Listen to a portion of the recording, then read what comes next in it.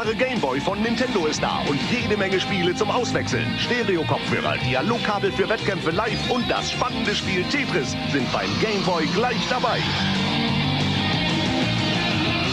Spiel wo immer du willst mit dem tragbaren Gameboy. Die Actionwelt für coole Köpfe von Nintendo. Hi, willkommen zurück auf Muchos Spielolymp. Ich grüße euch. Ja, weiter geht es mit wunderbaren Dingen aus längst vergangenen Tagen. In dem neuen Video heute soll es wieder mal um eine wunderbare alte Kiste gehen, sprich um ein Retro-Handheld. Und wenn ich Handheld sage, was fällt dann jedem von euch sofort ein? Fragezeichen. Natürlich der Nintendo Gameboy, genau. Und um diesen Gameboy soll es in diesem neuen Video heute gehen. Geschichte, Spiele und Faszination dieser kleinen wunderbaren Handheld-Konsole. Ja, der wunderbare Game Boy, die tragbare Videospielkonsole von Nintendo, hat bis heute nichts von ihrer Faszination verloren. Ganz im Gegenteil, der Game Boy ist ja über die ganzen Jahrzehnte hinweg ein absolutes Kultobjekt geworden, ein Kultobjekt der 90er Jahre. Ja, schon der Anblick der ersten erfolgreichen und tragbaren Spiele-Konsole von Nintendo dürfte bei den allermeisten Kindern der 90er Jahre heute noch schöne Erinnerungen Erinnerungen wachrufen und genau aus diesem Grund möchte ich den guten alten Gameboy in diesem Retro-Review für euch Revue passieren lassen. Nicht nur schöne Erinnerungen, wie gesagt, werden hier wachgerufen, sondern auch das Bedürfnis, noch einmal in die Welt von Super Mario, Donkey Kong und Zelda einzutauchen. Objektiv gesehen ist es natürlich nur schwer zu erklären, doch jeder von uns, denke ich, kannte den Gameboy damals in der Kindheit oder kannte zumindest einen, der einen hatte sozusagen. Also, wenn man in den 90er Jahren aufgewachsen ist, ist einem der Gameboy auch ein Begriff. Der gute alte Gameboy. Game Boy, eine klassische 8-Bit Handheld-Konsole, damals von Gunpei Yokoi entwickelt und von Nintendo erstmals am 21. April 89 in Japan veröffentlicht. Damals zu einem Preis von 12.500 Yen. In Europa war die Konsole dann ab Herbst 1990 erhältlich und wurde dann in Deutschland zu einem Preis von 169 D-Mark verkauft. Der Öffentlichkeit vorgestellt wurde der Game Gameboy dann aber schon bereits 1989 zum allerersten Mal und mit mehr als 118,69 Millionen verkauften Exemplaren ist der Gameboy eine der meistverkauften Spielekonsolen überhaupt und war lange Zeit die meistverkaufte Handheld-Konsole weltweit. Und dieser Verkaufsrekord wurde dann später nur vom Nintendo DS mit seinen rund 154 Millionen verkauften Konsolen sozusagen übertroffen. Würde man heute einem Kind einen alten Gameboy unter den Weihnachtsbaum legen, würde es seinen Eltern wahrscheinlich zu Recht den Vogel zeigen und die Wahrscheinlichkeit, dass der Vater oder die Mutter an dieser Kiste mehr Spaß haben als das Kind heute, wäre wahrscheinlich sehr groß. Solchen Kultstatus hat der Gameboy über die ganzen Jahrzehnte erreicht. Die Grundlage für den Game Boy, wie wir ihn heute noch kennen, wurde 1980 bereits von Nintendo gelegt, denn damals vermarktete Nintendo die sogenannte Game Watch Reihe, welche eine 57-teilige Serie von elektronischen LCD-Spielekonsolen bereits von Nintendo war. Alle Game Watch Konsolen damals von Nintendo hatten ein einziges vorinstalliertes Spiel eingebaut und waren meist dem Spiel entsprechend designt. Wollte man damals ein anderes Spiel spielen, musste man einfach ein neues Game Watch Gerät kaufen. Manche von euch kennen diese Geräte vielleicht noch. Die waren damals heiß begehrt in Japan. Bei uns in Deutschland gab es dann auch solche Teile, aber auch von verschiedensten Herstellern. Diese Game Watch Geräte dienten also als Grundlage für den späteren Game Boy. Am 28. September 1990, wie anfangs erwähnt, war es dann endlich soweit. Die Kiste erschien auch hier in Deutschland und der Game Boy kam hier in die Läden unseres Vertrauens und schon bald wurde der Game Boy nach ganz kurzer Zeit dann auch bei allen Kindern in Deutschland zu einem absoluten Statussymbol. Zu der damaligen Zeit dürften allerdings seitens Nintendo die wenigsten geahnt haben, was für eine Erfolgsgeschichte an dem Erscheinungstag beginnt Grund, denn viele Fachleute damals und Presseleute kritisierten den simplen Schwarz-Weiß-Bildschirm des Gameboys und die niedrige Leistungsfähigkeit des Gerätes und waren eigentlich fest davon überzeugt, dass man Videospiele damals nur an einem Heimcomputer spielt oder an stationären Konsolen und niemals an solchen tragbaren Handheld-Konsolen wie einem Gameboy. Doch wie wir alle wissen, war diese Einschätzung komplett falsch und der Gameboy strafte alle seine Kritiker und Lügner ab und wurde wie gesagt zur erfolgreichsten Handheld-Konsole aller Zeiten. The adult world is designed to keep us moving. And while this may make us more efficient, it's not exactly a party. Luckily, technology has produced a cure. It's called a Game Boy, the personal game playing system from Nintendo. Der Game Boy ist natürlich keineswegs zeitlos, sondern ist natürlich auch vor Jahren schon technisch hoffnungslos veraltet gewesen. Er besaß einen Speicher von gerade mal 8 Kilobyte und die Grafik konnte eine Auflösung von 160 mal 144 Pixeln auf dem Bildschirm zaubern. Bunte Bilder im Spiel gab es lange Zeit nicht zu sehen, denn bis zur Einführung des Game Boy Color dann später bestand das Bild des Game Boys lediglich aus vier unterschiedlichen Grautönen. Für viele Kids heute wahrscheinlich unvorstellbar war natürlich der alte Gameboy kein Smartphone, er war auch nicht wirklich smart und er ließ sich schon gar nicht mit dem Internet verbinden. Damals gab es das natürlich alles noch nicht. Die einzelnen Geräte ließen sich dann nur mit Hilfe eines Kabels miteinander in Verbindung setzen. Trotzdem war der Gameboy nie ein Spielzeug für Einzelgänger, sondern immer fester Teil der Community und das gemeinsame Spielen war auch damals schon groß angesagt. Da es also damals noch kein Internet gab, hatte man als Kind natürlich auch nicht die Möglichkeit, mal schnell zu googeln, um zu schauen, wie man bei einem bestimmten Spiel weiterkommt. Da blieb einem nur eins, dem besten Kumpel um Rat zu fragen. Das tat man dann klassisch auf dem Schulhof. Da zeigte man sich untereinander immer die neuesten Games für den Gameboy. Das machte das alles aber auch so schön und so wunderbar im Nachhinein. Der Gameboy erschien ja damals bekanntlich mit dem Klassiker Tetris. Ich glaube, das war auch das erste Spiel, das ich wirklich bis zum Verrecken gespielt habe. Obwohl ich nie wirklich weit kam in Tetris, war es aber, denke ich, wie bei vielen Kids das einzigste Spiel, was man am Anfang hatte, bevor man dann irgendwann mal ein neues bekommen äh, hatte von den Eltern und daher spielte man das bis zum Verrecken. Kurz danach kamen dann aber schon all die legendären Spiele auf den Markt, deren Namen wir heute alle noch kennen, wie zum Beispiel Super Mario, Donkey Kong, Zelda, Metroid und später die vielleicht erfolgreichsten beste Spieleserie überhaupt für den Game Boy, Pokémon. Der Game Boy war an sich eine relativ simple Konsole. Er hatte die A- und die B-Taste sowie ein Steuerkreuz und trotz seiner Einfachheit, will ich jetzt mal sagen, hatte er über die Jahre es einfach geschafft, wunderbare, teils simple, aber auch teils hochkomplexe Spiele auf den Markt zu bringen, die uns allen heute noch ein Begriff sind. Zu den genannten A- und B-Tasten kamen natürlich dann noch die Tasten Select und Start hinzu und diese waren dann für die Kontrolle der Spielfigur aber in der Regel ohne Bedeutung. Die Gegner in den meisten Spielen agierten anhand vorgegebener Muster und die Entwicklung einer anständigen KI steckte damals natürlich noch in den Kinderschuhen.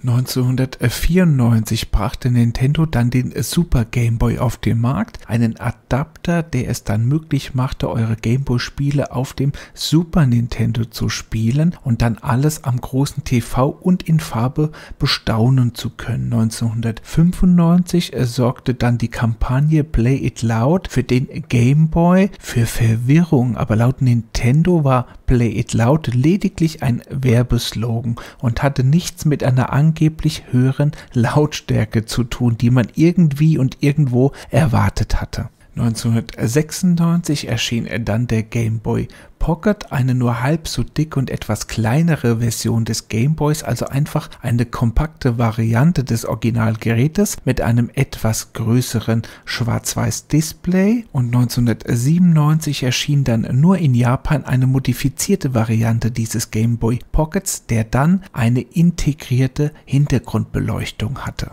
Danach ging es eigentlich mit den Weiterentwicklungen des Original Gameboys Schlag auf Schlag, denn 1998 wurde dann der Gameboy durch den Gameboy Color abgelöst, der knapp neun Jahre nach Erscheinen des Atari Lynx endlich auch einmal Farbe bei einem Gameboy darstellen konnte und das war damals allerhand. Der Atari Lynx war da wie gesagt schon ein paar Jahre vorher drauf gekommen, Nintendo brauchte da ein bisschen länger. 2001 erschien dann der Game Boy Advance mit erstmals wieder komplett rund erneuerter Hardware und einem weit verbesserten Farbbildschirm. 2003 wurde die zusammenklappbare Variante des Game Boy Advance, der Game Boy Advanced SP, dann mit zusätzlicher Frontbeleuchtung und integriertem Lithium-Ionen-Akku eingeführt.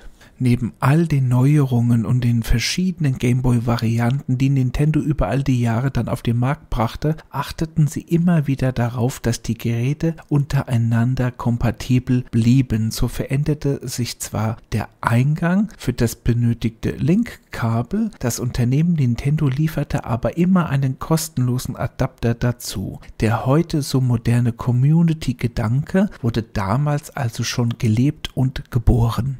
Auch alle Spiele damals konnten in der Regel problemlos auf allen Varianten des Gameboys gezockt werden. Besitzer des Original Gameboys konnten also problemlos mit jemandem Spiele austauschen, der zum Beispiel den Gameboy Color besaß. Das sorgte natürlich dafür, dass die alten oder die Original Gameboy Besitzer zu einer großen Gemeinschaft zusammenwuchsen, in der es eigentlich keine Unterschiede zwischen den verschiedenen Gameboy Modellen gab. 2004 erschien zunächst nur in Japan und in den USA, 2005 dann auch in Europa der Nintendo DS. Den kennen wir natürlich auch alle noch, obwohl das Gerät damals abwärtskompatibel zu Game Boy Advance Modulen, sprich zu Spielen war, stellte der Nintendo DS zum ersten Mal keinen klassischen Game Boy Nachfolger dar, sondern sollte laut Nintendo neben der Game Boy Linie separat existieren.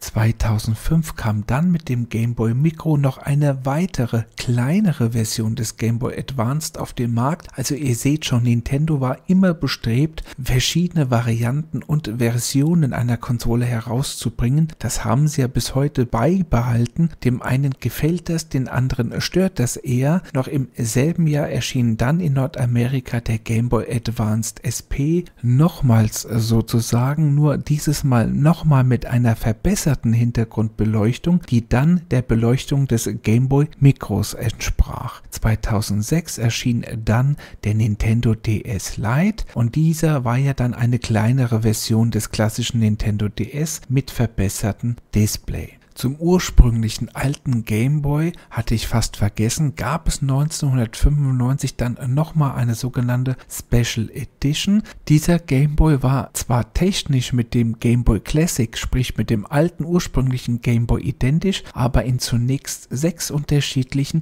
Gehäusefarben erhältlich. Rot, Gelb, Grün, Schwarz, Weiß und Transparent, später dann auch in Blau. Dazu gab es dann noch eine Tragetasche. In diese Tragetasche passten dann das Gerät, vier Ersatzbatterien und bis zu fünf Spielehüllen. Worin lag nun aber im Nachhinein oder besser gesagt bis heute der große Erfolg des Gameboys begründet? Vermutlich hatte Nintendo damals einfach den Nerv der Zeit getroffen. Wie gesagt, war der Atari Lynx ja damals schon auf dem Markt und das auch in Farbe und dennoch hatte ja der Gameboy damals dem Atari ja eigentlich den Rang abgelaufen und alle setzten weiterhin auf den Gameboy und das obwohl er nur in diesen vier Farben äh, Spiele darstellen konnte und eigentlich der bunte Atari Lynx, wenn man es objektiv betrachtete, weit, weit vorne liegen musste. Das war aber nicht der Fall. Also der Game Boy hatte irgendwie den Nerv der Zeit getroffen. Heute, wo jeder sein eigenes Smartphone besitzt, kann man sich das wahrscheinlich kaum vorstellen. Damals aber waren tragbare Computerspiele einfach etwas ganz Besonderes und einfach nicht alltäglich. Dazu kam wahrscheinlich noch diese geniale Mischung aus Einfachheit und Komplexität und die Spiele waren einfach wunderbar simpel zu steuern, einfach verständlich und beinahe jedes Game konnte einfach drauf losgespielt werden. Und dennoch besaßen viele Spiele damals einen erstaunlichen Tiefgang und das, obwohl natürlich die Technik damals noch nicht so weit fortgeschritten war und das ein oder andere Spiel hat einem da schon mal den Nerv geraubt und an den Gameboy gefesselt. Oftmals allerdings auch notgedrungen, denn viele Spiele damals besaßen schlichtweg einfach keine Speicherfunktion und deswegen musstet ihr natürlich das Spiel immer wieder von vorne beginnen und das wäre für viele Spieler heute einfach unvorstellbar. Das Schöne damals war aber, wir zockten nicht im Internet gegen anonyme Gegner, sondern wir trafen uns noch klassisch, ganz normal auf dem Schulhof oder auf der Straße nach der Schule, im Freibad oder beim Fußballzocken. Das Thema Gameboy durfte dabei aber nie fehlen. Also egal was wir als Kids getan haben, wir hatten eigentlich fast immer mindestens einen Gameboy dabei, um zwischendrin mal zu zocken. Interessant ist auch, um das Abspielen damals von nicht lizenzierter Software seitens Nintendo auf dem Gameboy zu verhindern, besaß der Gameboy einen sogenannten CPU-internen Bootloader als Kopierschutz und beim Start eines Spiels damals, eines lizenzierten Spiels, wurde ja bekanntlich das Nintendo-Logo eingeblendet, das ihr natürlich alle noch kennt und sobald dieses Logo dann die Bildschirmmitte erreicht hatte, verglich der CPU-interne Bootloader das Logo auf dem Spielemodul mit dem intern abgespeicherten Nintendo-Logo. Das war sozusagen der erste Kopierschutz auf dem Game Boy und da dieser Kopierschutz auf den Einsatz des markengeschützten Nintendo-Logos Logos beruhte, hätte dessen Verwendung für ein nicht lizenziertes Produkt, sprich für eine Raubkopie eines Spiels, dem Hersteller Nintendo dann die Möglichkeit gegeben, den entsprechenden Anbieter zu verklagen. Ausnahmen gibt es jedoch immer wieder, denn dem britischen Entwickler Argonaut Software gelang es dann, diesen Logoschutz auszuhebeln, da der Bootloader das Logo vor dem Vergleich erneut vom Spielemodul gelesen hatte und Argonaut und Nintendo gingen dadurch eine Geschäftsbeziehung ein, die dann zur Entwicklung des 3D-Zusatzchips für das Super Nintendo, sprich den Super FX-Chip, führte. Das ist mal interessant zu wissen, wie ich finde. Der gute alte Nintendo Game Boy. Viele Fans haben dieser kleinen Kiste ja bis heute noch die Treue geschworen. Alte Konsolen und Geräte finden im Internet ja noch immer ihre Abnehmer und das zu wirklich teilweise beachtlichen Preisen und ausgerechnet der damals große Verkaufsflop, sprich der Game Boy Micro, ist hier im Internet heute noch am wertvollsten. Auch fast alle Spieleklassiker von damals sind ja heute im Netz noch zu bekommen. Wie gesagt, ist da noch ein großer Markt und viele Kinder der 90er Jahre scheinen halt immer wieder mal das Bedürfnis zu haben, in die Kindheit zurückzutauchen sozusagen. Denn dieser Retro-Charme hat eigentlich nie wirklich aufgehört zu wirken. So finden sich bei YouTube heute ja noch zahlreiche Videos zu Gameboy-Spielen und dabei wurde YouTube selbst ja im Jahre 2005 erst gegründet, sprich ist damit 16 Jahre älter als der Gameboy an sich. Letztlich also lebte der Geist des guten alten Gameboys auch in vielen vermeintlich neuen Spielwelten heute weiter. Auch viele Smartphone-Spiele zum Beispiel und Browser-Games heutzutage setzen auf die geniale Mischung aus innovativer Steuerung und simpler Grafik. Bedeutet das, das Erfolgsrezept des Gameboys heute noch in der Videospielbranche wieder zu erkennen ist. Der gute alte Gameboy. Ich denke, das soll's auch von mir jetzt gewesen sein. So viel zu meinem kleinen Retro-Review für euch. Ich hoffe, es hat euch mal wieder gefallen. Wenn es das getan hat, dann hoffe ich, hören wir uns einfach im nächsten Video. Dann wäre ich mal wieder raus für heute. Ich danke euch fürs Zuhören. Bis zum nächsten Mal. Euer Mojo. Bye bye.